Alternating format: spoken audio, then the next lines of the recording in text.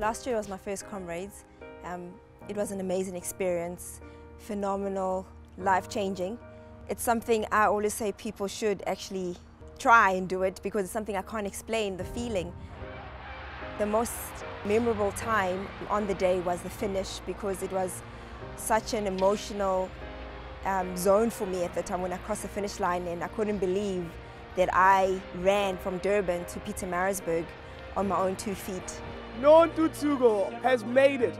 After her first Comrades Marathon ever, she's made it to the finish in under 11 I hours. feel like I've conquered the world.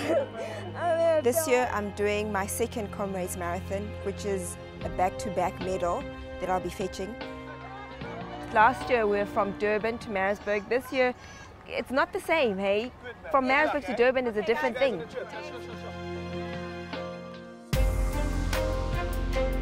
My sister Nontuthuko, she's going for a back-to-back medal and I'm going for my silver medal, my at Comrades, and we're gonna love it.